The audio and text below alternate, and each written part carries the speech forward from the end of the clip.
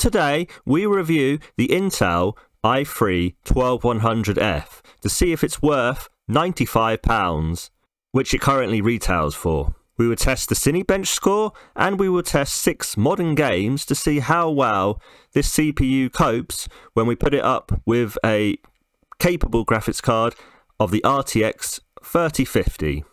The 12100F was released in the first quarter of 2022. It has 4 cores and 8 threads. Its base frequency is 3.3 GHz and its max turbo boost frequency is 4.3 GHz. This is one of the more entry level 12th gen processors, although there are Pentiums and Celerons below this, but this is more or less the most entry level for most people who want to play games or want to do a lot of productivity.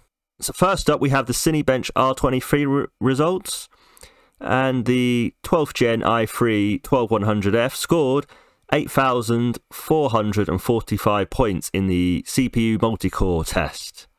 Now this is actually more than a Ryzen 5 3600 and just a little bit below the Ryzen 5 5600X, which is around 10,000. As you can see here, the, the stock cooler also kept our temperatures quite low at only 56 degrees Celsius it maxed out at. Overall, a very impressive start for a £95 CPU. Now moving on to the benchmarks.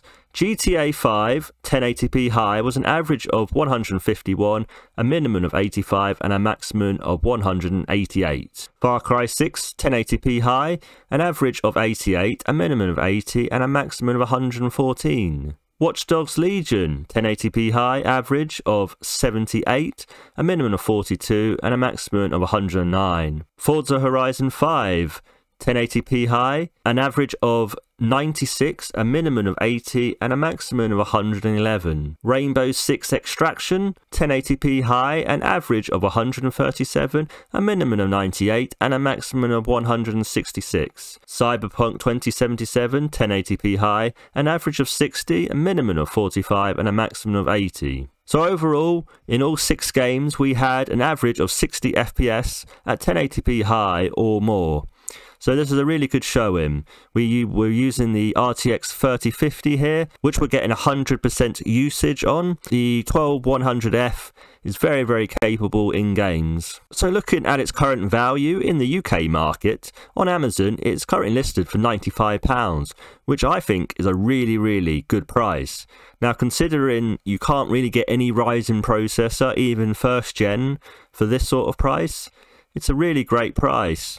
And really does pack a punch compared to other more expensive CPUs. Even something like the Ryzen 5 5500 is kind of the sort of same sort of speed as this processor and that currently is around 140 or 135 pounds in the UK. Now granted looking at the H610 motherboards they're not fantastic, and the cheapest is £77 in the UK, at least on Amazon UK. This is kind of the trade off that you have, but altogether, that's only £170 altogether, which considering a Ryzen 5 5600X is currently £190 in the UK alone, this is actually stacking up to be really quite good value, providing you do get the H610 motherboards.